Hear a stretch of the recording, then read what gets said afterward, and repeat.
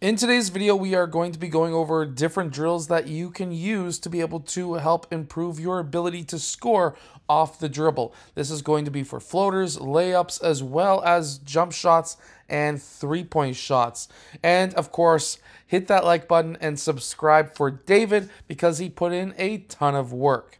Okay, so in this first drill, we're going to do a quick, what I call diamond dribbling drill. Basically, you will set up pylons in a diamond. You do the crossovers as quick as possible. Either you're going to go between your legs, behind your back, whatever. You can mix things up. You can add in secondary crossovers at each pylon. It doesn't matter. But either way, you are going to finish with a floater.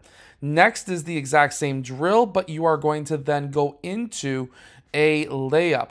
After you finish that layup, you are then going to potentially, depending on how you have it set up, pop out for a three point shot. And that is exactly what we are doing right here. We're going to do an inside hand layup, and then we are going to pop out for that three point shot. This is a very good drill to be able to do because now they are, after doing that layup, now, right at the end, the last crossover right here, before David goes for that left hand inside hand layup, watch his shoulders. Watch how low he's able to get them. The lower you can get, especially when you are on offense trying to attack after you take your last dribble, is insanely important because you're going to then have leverage on your defenders. So we need to train like that too popping out like if they are in a game. So, for example, there's a lot of offenses that will have the player pop out to the three point line. That player will then take that three point shot. And then we can even expand this and to add in even more three point shots as well. So, for example, we can add in them lifting from the corner to the wing for a three-point shot, but we're going to see that a bit later. Now we are expanding on the exact same drill as what we've seen earlier, the left-hand layup, because whatever we do on the right side, we want to do on the left, and then popping for that three-point shot. Next, we are going to be going into a jump shot. This is extremely important because, of course, with the jump shot, the mid-range, mid-range is something that has disappeared in today's game over the last little while. However, we need to bring it back. You need to be a three-level scorer if you are looking to play at the university level or even the pro level.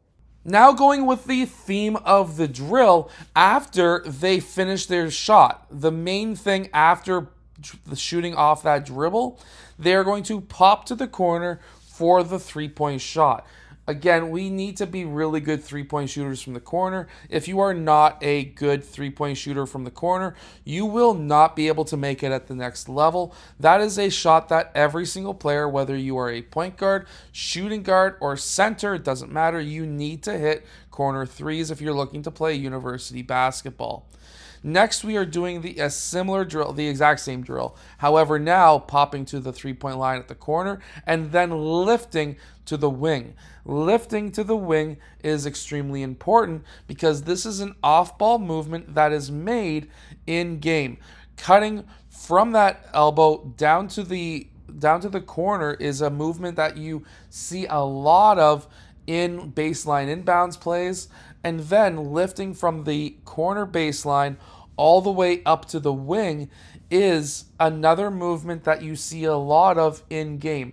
That simple lift after somebody drives to the basket is extremely important because now that player who's driving to the basket can hit you with a pass. Your man is going to help off.